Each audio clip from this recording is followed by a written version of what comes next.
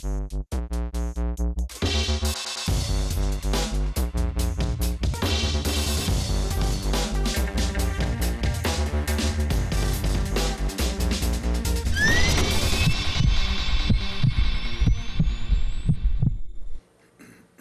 Добро утро на всички, избрали да започнат деня си здравословно. Това е предаването за медицина Пулс, а аз съм Гергана Добрева. Днес темата е лицево-челюстна хирургия и последните новости в областта. Гостува един от водещите лицево-челюстни хирурзи у нас. Кой е той, ще видите след хрониката на здравните новини от изминалата седмица.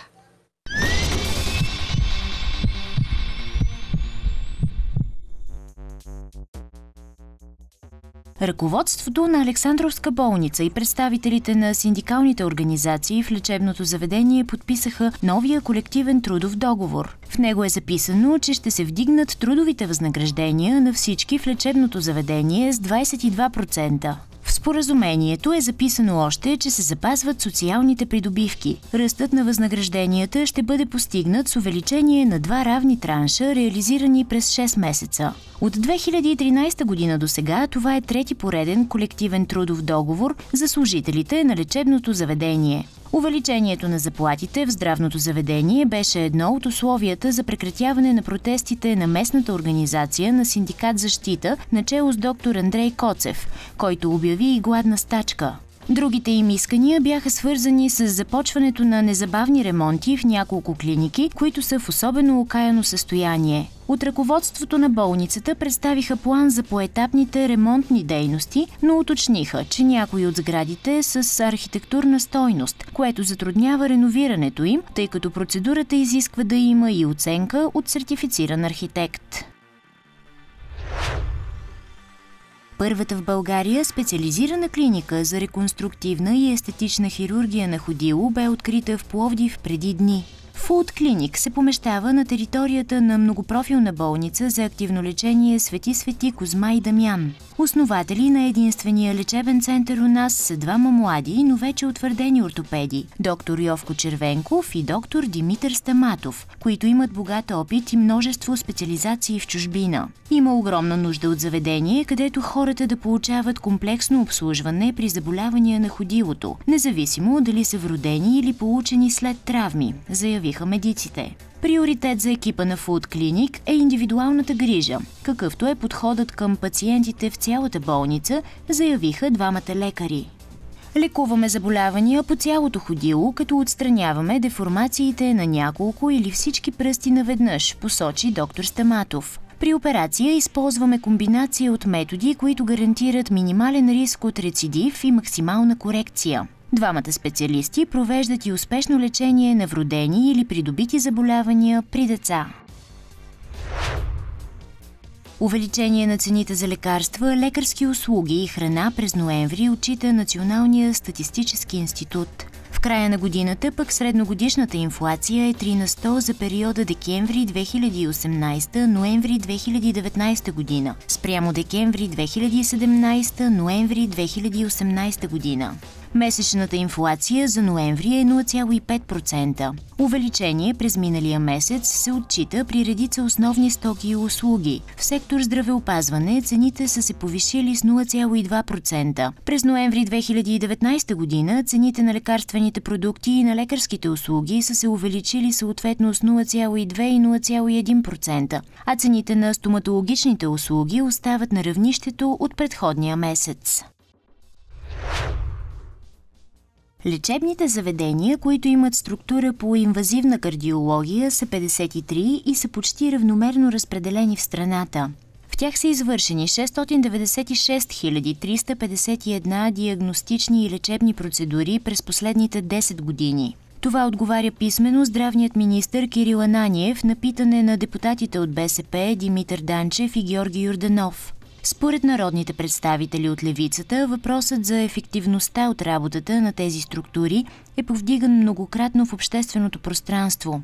Затова те питат какъв е броят на тези клиники в страната и колко инвазивни процедури са извършени за 10 години. Освен това, искат да знаят какъв е броят на починалите лица след третия, шестия и 12 месец след извършване на интервенциите, колко от пациентите са се завърнали на работа и колко са инвалидизирани.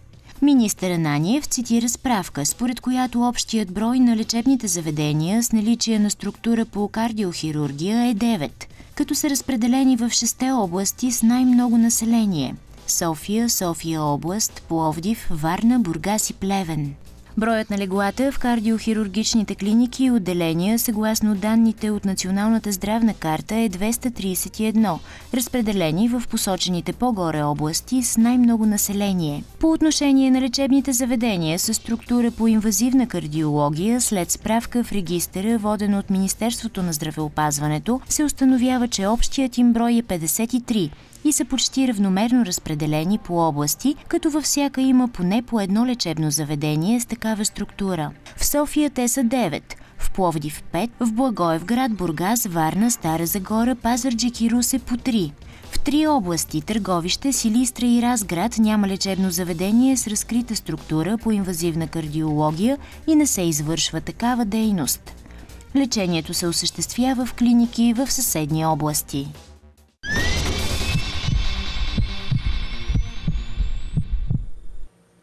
Днес мой гост е началникът на клиниката по лицево-челюстна хирургия на столичната болница Светана, доктор Константин Димов. До лятото на 2019 година доктор Димов е бил начало на отделението по лицево-челюстна хирургия в Пирогов. Сега е на клиниката в болница Светана. Той е консултант по лицево-челюстна хирургия и в университетската болница Бургас и в многопрофилната болница Дупница. Доктор Димов е двигател на създаването на Национален консултативен, център по лицево-челюстна хирургия. Докъде стигна този процес, ще разберем от него. Освен това, ще научим какви са предизвикателствата в неговата специалност, както и кои са най-честите осложнения, с които се среща в практиката си. Добро утро, доктор Димов. Добро утро на вас и на вашите зрители. Благодаря ви за поканата. Доктор Димов, вие бяхте двигателя на създаването на експертност в вашата специалност. Решихте да направите Национален консултативен съвет. Докъде стигна този процес? Ами, Националният експертен съвет по лицево-челюстна хирургия е част от е, Министерството на здравеопазването. С заповед на министъра преди близо година са създадени по всяка една специалност национални съвети, които заместват едновремешните консултанти по съответната дисциплина. Имах щастието да съм част от този експертен съвет, който е към Министерство на здравеопазването. Но поради една или друга причина, тъй като работя в голяма многопрофилна болница Света Ана, е необходимо да се събираме с колегите от Националния съвет и да дискутираме проблеми, свързани с заболяванията на болните, както и проблеми изобщо в нашата сфера. Така че от само себе си възникна идеята това място да стане болница Света Ана. Направихме всичко възможно да минеме през регистрациите в държавата и вече мога да се похваля, че имаме консултативен център по лицево-челюстна хирургия, който е с претенцията да бъде национален.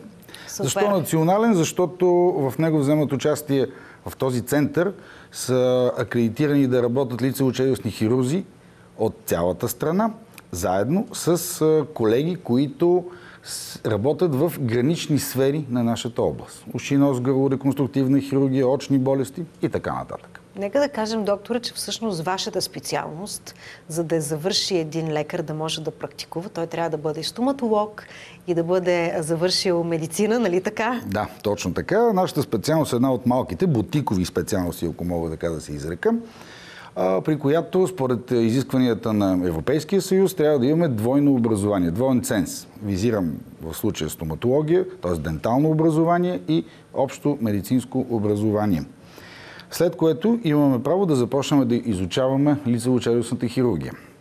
Разбира се, това е един дълъг и тежък и труден път, и резонно в края на този път излиза един скъп продукт. Тоест колегите, които са се нагърбили с тази задача да започнат да работят, да учат и после да работят по тази специалност, трябва да отдадат едни близо 17 години от своя живот, за да могат след време да се нарекат, в края на тези 17 години, да се нарекат лицево-челюстни хирурзи. И не сте е. много, докторе. Определено не сме много. Реално работещите лицево-челюстни хирурги в лицево-челюстни хирурзи в България сме не повече от 25 човека които по естествен принцип са групирани в големите болнични заведения, където се нуждаеме, за да работим адекватно, където ние се нуждаеме от бекграунда, от а, съпътстващите специалности и ресурси на една голяма многопрофилна болница.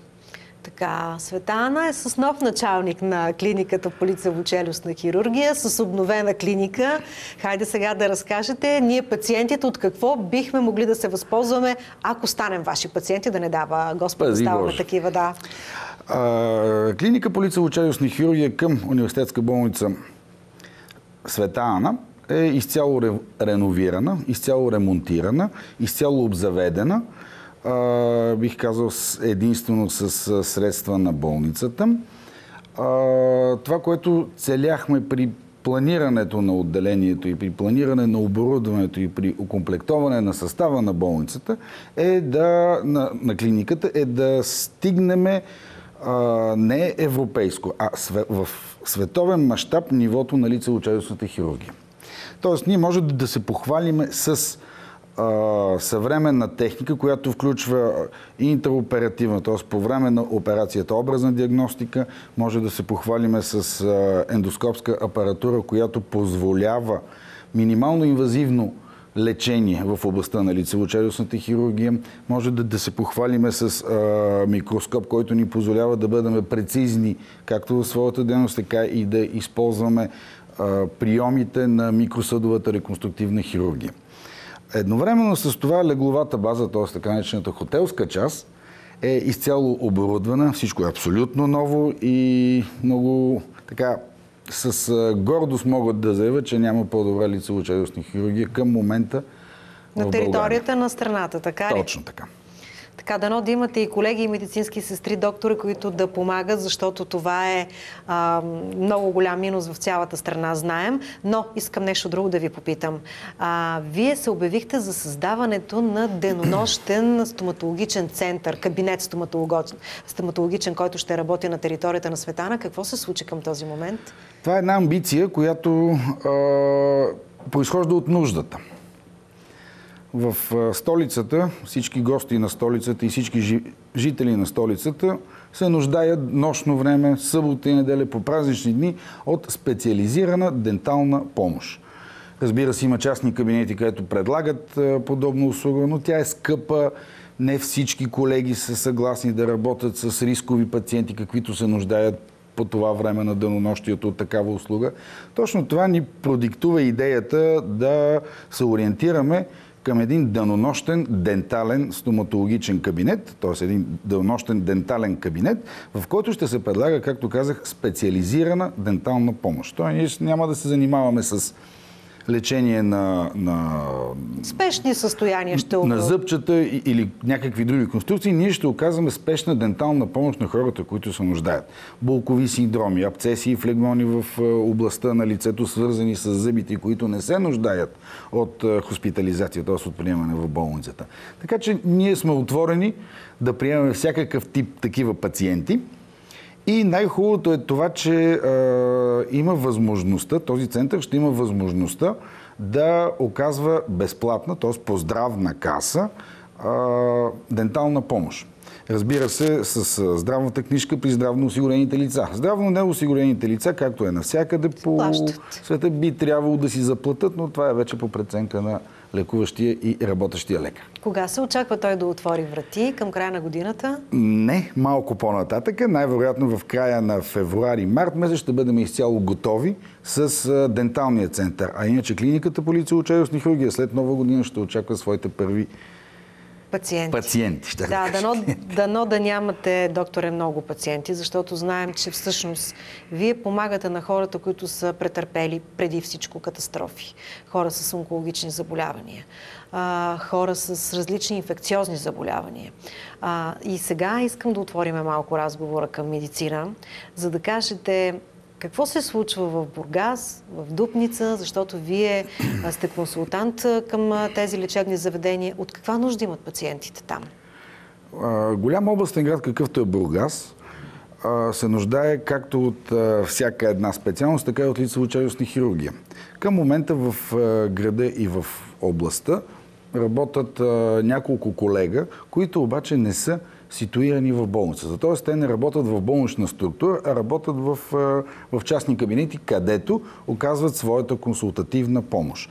За да се лекува един пациент с политравма или с някакво тежко заболяване в областта на лицето, той трябва да бъде хоспитализиран. Тоест, той трябва да лежи в болница. Поради тази причина се нагърбих с нелеката задача да, да осъществявам консултативна и разбира се и медицинска помощ в тези два областни града. Един е град Бургас, а другия е град Дупница. Дупница. Какво обаче се случва, докторе? Ще разберем веднага след рекламите.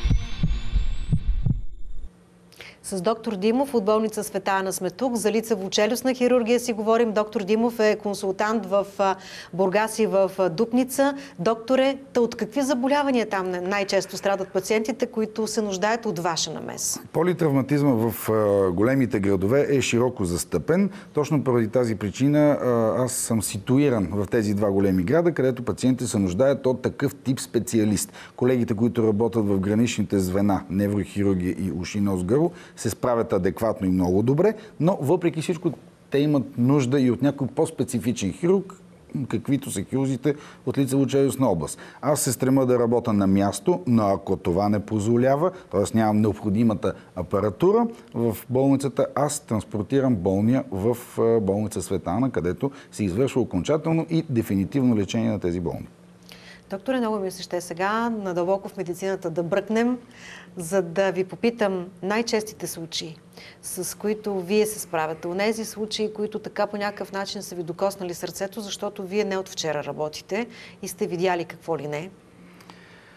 Не искам да влизам в подробности с, с конкретни пациенти, просто ще спомена, че от 18, близо 19 години аз работя в болница Пирогов, където се нагледах на спешни и на тежки политравматични пациенти. Едновременно с това, с моето преместване в болница Светана, където е създадено съвременно, модерно спешно приемно отделение, респективно потока на травматични болни се пренасочи от болница Пирогов към болница Светана и респективно моето място е там, където са тези травматични болни. Точно поради тази причина не искам да влизам в подробности, тъй като всеки един човек при травма страда и той и близките му, но наистина има много тежки, много а, загрозяващи случаи, които са свързани не толкова с лечението на, на болните, колкото с лутането на болния между различните лечебни заведения, докато попадне на място, където ще му бъде оказана адекватна помощ. Така, докторе, травматизъм, казвате, сега зимата е време, в което покривките са заледени, чести са травмите, но сериозни травми имате ли? Имате ли пациенти толкова много зимата или по-скоро е лятото? При нас няма обвързаност между сезоните с количеството работа, която извършваме. По-скоро е свързана с почивните дни, тъй като хората тогава си позволяват да излизат навънка, да се разхождат, да пътуват и точно тогава възникват тежки ПТП-та, случаи на насилие, битови травми, които са извън дома. И точно тогава нашата работа се, се засилва повече. Тоест събота и неделя и почивните дни ние имаме повече работа, отколкото в един нормален работен ден. Докторе, вие работите и онкология, на терена на онкологията помагате. Обикновено, когато става въпрос за лице, а, къде са ситуирани проблемите? По-скоро нос ли е? Къде са челюсти или са нещата? Абсолютно правилно задавате въпроса. Ситуирани са проблемите, но не толкова в частите на тялото, колкото в профилактиката. Лицево-челюстната онкология по никакъв начин не се различава от другата онкология, т.е. от заболявания в други части на тялото, онкологични заболявания в другите части на тялото, с една малка, но съществена разлика. Онкологичното заболяване на пациент с такова в областта на лицето буквално е изписана на лицето му. То се вижда. Човека страда, пациента страда не само от болката, която причинява този туморен процес, колкото от деформация и от а, асоциализирането на човека от околните, от неговата среда. Това нещо боли много. Повярвайте ми, хората страдат и от всичките неща, но най-вече страдат и от асоциализирането си в, от обществото. Вие, доктора, казахте една ключова дума профилактика. профилактика. Да, нека да се върнем към нея, да дадете някакъв съвет колко често, какво, как да гледаме, не да стигаме до болков синдром и чак тогава да търсиме лекар. Бих посъветвал всички свои пациенти и всички мои познати да ходят редовно на профилактични прегледи при своите дентални лекари. Тъй като всяка една лезия, всяка една а, раничка, която не е мястото в на лицето или в устата трябва да бъде обследвана. След като тя е диагностицирана и обследвана, ние можем да бъдем минимално инвазивни с а, като крайния резултат ще бъде една, едно задоволително качество на живот при една тежка диагноза. Така че, моля, нека пациентите да обръщат внимание на своите дентални лекари поне веднъж годишно. Да, хубав съвет, доктор, дано да, да ви чуят хората и да се съобразят с вашите препоръки. Но нещо много важно, когато се а, има такъв онкологичен а, процес, когато вие се вземете с неговото лечение, тогава се намесват и онези високи технологии. А, всички сме чували за 3D принтирането. А, как се случва обаче на територията на Светана? Вие казахте, че разполагате с едно сериозно въоръжение от апаратура, модерна. Първо бих искал да кажа, че 3D принтирането на части а, е технология, която не е приложима, за съжаление, за всеки един пациент. Тоест, това е вид техника, която се използва при лечението на онкологични или посттравматични дефекти в областта на лицето, пък и не само на лицето. И пациента трябва да бъде а, подготвен и трябва да бъде обсъдено с рентгенолозите, с инженерите, дали е подходяща тази технология за него. Да, наистина ние работим от, от близо близо година, бих казал, с водещи центрове както в Русия, така и в Германия, откъдето а, ние черпиме а, материалите и така наречените 3D импланти. Пътя, който се стремиме да извърви пациента, ние, ние се стремиме да го съкратиме този път. В смисъл, е, идва пациента при нас с подобно онкологично заболяване, диагностицираме го, изпращаме образите в тези центрове и те ни връщат готов крайен продукт. Доколкото знам, на територията на, на България има технолози, които се опитват да разработват подобен процес, но аз все още не съм в контакт с тях. Ами дано да се случат нещата на наша територия. Така минаваме, доктора, към мадреците, защото там темата е много дълбока, много чувствителна. Хората, когато решат да изправят зъбките на децата си, се оказва, че има едни мъдреци, които растат и които объркват целият естетичен процес. Да. Мъдреците са а, зъби, които едно време атавистични белези, които едно време са използвали хората, за да дъвчат по-добре. Все още ние си ги имаме и тези зъби в един или друг случай създават дискомфорт и проблем. А, тук ще цитирам думите на един мой преподавател от, а, от студентските години, който казваше, че мадрец се вади тогава, когато напомня за себе си. Тоест, ние не може да вадиме тук така зъби, тъй като било то мадреци или някои други зъби, без да създават проблеми, защото не знаем след време дали няма да се наложи да ги използваме по някакъв начин. По отношение на ортодонското лечение, брекетите и апаратчетата и естетиката, бих искал да обърна внимание, че имаме колеги ортодонти, които са много добре запознати с съвременните тенденции, много добре си обследват пациентите и наистина само при необходимост тогава насочват към нас пациенти, които, на които да бъдат екстрахирани било то мъдреци, било то някои други зъби, които пречат за правилната усмивка. Много ви благодаря, докторе. Пожелавам ви здраве, пожелавам светли празници на вас, на семейството ви и на всички пациенти, които са в клиниката по лицево-челюстна хирургия. Така се разделяме. Прекрасен ден от мен и останете с предаванията на Канал 3.